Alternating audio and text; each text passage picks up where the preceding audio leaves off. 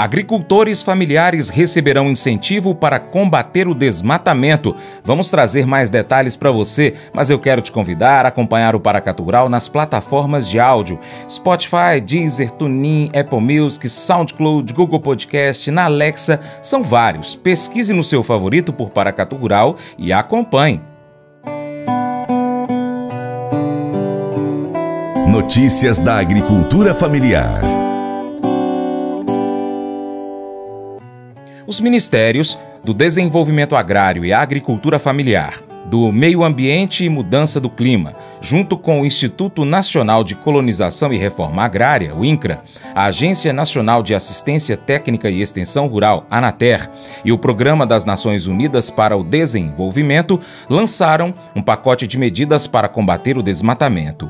Entre elas está o investimento de 700 milhões de reais para fortalecer e estruturar o combate aos incêndios florestais, bem como recuperar áreas degradadas em municípios da Amazônia. Entre as ações previstas estão a regularização fundiária e a compensação a produtores rurais que preservarem e ajudarem na recuperação de áreas degradadas. Acompanhe a reportagem de Luana Karen recompensar quem mantém a floresta em pé.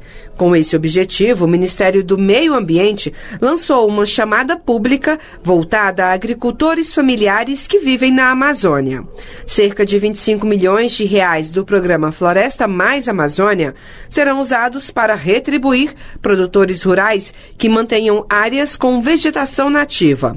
A ministra do Meio Ambiente e Mudança do Clima, Marina Silva, falou sobre a importância de apoiar quem quer contribuir com a sustentabilidade. Há muito tempo espero né, essa ideia de pagamento por serviço ambiental, valorização da floresta, né, dos agricultores familiares sendo colocados nesse lugar de quem está ajudando a combater desmatamento, de quem está ajudando a fazer o enfrentamento da mudança do clima.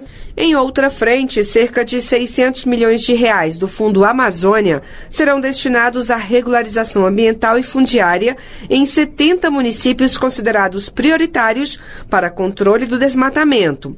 O acordo, que envolve os Ministérios do Meio Ambiente e do Desenvolvimento Agrário e Agricultura Familiar, além do INCRA e da ANATER, vai implementar ações de regularização ambiental e fundiária. A expectativa é de que 30 mil famílias sejam beneficiadas. O ministro do Desenvolvimento Agrário e Agricultura Familiar, Paulo Teixeira, destacou que é necessário mudar a lógica predatória para a lógica sustentável. Uma outra economia agrícola capaz de dar resultados econômicos maiores né, é, e com uma visão mais produtiva e que preserve aquele. A recuperação de áreas degradadas está no foco de outra medida anunciada nesta terça-feira. No âmbito do programa Floresta Mais Amazônia, vão ser investidos 75 milhões de reais para fortalecer ações de recuperação de áreas que estão sob responsabilidade de agricultores familiares. Reportagem Luana Karen. Muito obrigado a você que nos acompanha pelo YouTube ou pelo site Paracatu Rural ou ainda para você que nos acompanha nas plataformas de áudio, no Quai. Se você quiser contribuir com o nosso trabalho para a gente poder crescer ainda mais, nós temos projetos aí de crescimento, então você pode fazer um Pix para o 38991810123. Essa é a chave Pix do Paracatu Rural. 38991810123 qualquer valor. Não precisa ser todo mês, mas se você puder, vai ser de grande ajuda. Assim você vai contribuir com o nosso trabalho e a gente vai conseguir investir ainda mais e trazer muito mais informações para você. Nós temos vários projetos aí e que com a sua ajuda a gente vai conseguir realizar. Muito obrigado, hein? Deus te abençoe. Não importa o que você vai enfrentar nesta semana. Você não vai enfrentar tudo isso sozinho. Deus está com você ele está em você e ele é por você. Na Bíblia, Filipenses 2,13 diz assim: Pois Deus está sempre agindo em vocês para que obedeçam à vontade dele, tanto no pensamento como nas ações. A palavra agindo no original grego é energos, de onde vem a palavra energia. Deus é o condutor de energia em sua vida. Você não está apenas seguindo com força de vontade. Deus diz que Ele te dará a força que você precisa, não importa o que você está enfrentando. Ele não está apenas em você, ele está com você. A Bíblia diz assim: Não vou deixá-los abandonados, mas voltarei para ficar com vocês. Quando chegar aquele dia, vocês ficarão sabendo que eu estou no meu Pai e que vocês estão em mim, assim como eu estou em vocês. João 14, 18 e 20. Isso é uma promessa e tanto. A Bíblia diz que Jesus Cristo está em você, a Bíblia diz também que você está escondido com Cristo em Deus, e a Bíblia diz que você está selado com o Espírito Santo. Isso significa que para o diabo chegar até você, ele terá que passar pela Trindade. Essa é uma proteção muito boa, né? Deus não está apenas com você e em você, Deus também é por você. Romanos 8,31 diz: Se Deus é por nós, quem será contra nós? Quando um pastor lidera as ovelhas, há sempre cães de guarda atrás, mordendo-as levemente para mantê-las se movendo na direção certa. A Bíblia diz que os cães de guarda na sua vida são a bondade e a misericórdia de Deus. Deus te dá o que você não merece, isso é graça.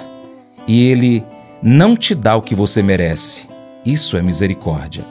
Você já sentiu Deus sorrindo para você? Se não, você não conhece Deus de verdade. Algumas pessoas pensam que Deus é como um pai zangado que está bravo com elas o tempo todo. Não, não. Deus é por você.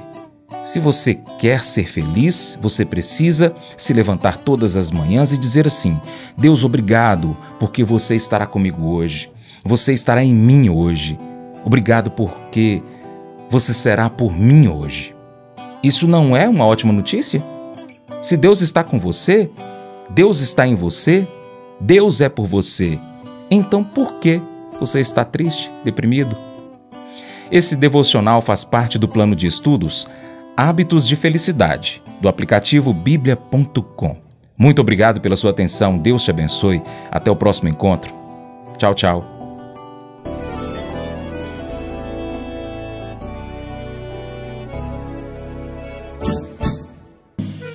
Acordo de manhã para prosear no mundo do campo, as notícias escutar. Vem com a gente em toda a região com o seu programa Paracatu Rural. Tem notícias, informação e o mais importante, sua participação. Programa Paracatu Rural.